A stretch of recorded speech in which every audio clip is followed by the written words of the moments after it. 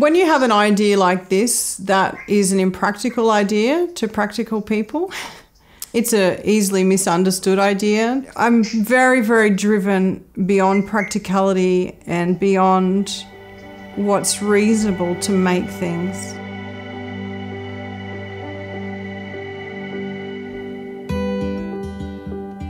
Thousand fifteen, I had an exhibition at the Hamilton Art Gallery, and I had them then and they were all hanging from the ceiling and they were uh, 50 centimetres by 15 centimetres and they had lights inside.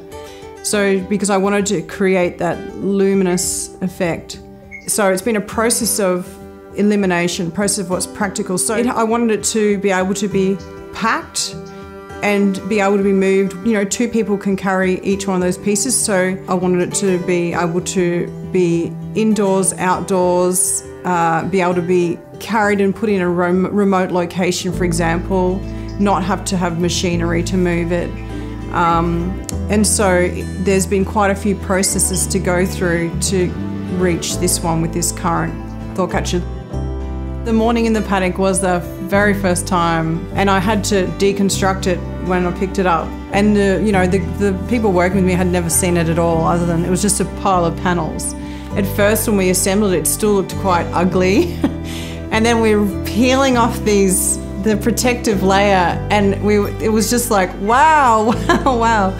I just felt quite ecstatic all day to have had that experience. The fabricators were like okay think yeah well you know that's fine. And then as the process went along when i sent them the photos of with the peel like this is really great. It means that the idea was worth fighting for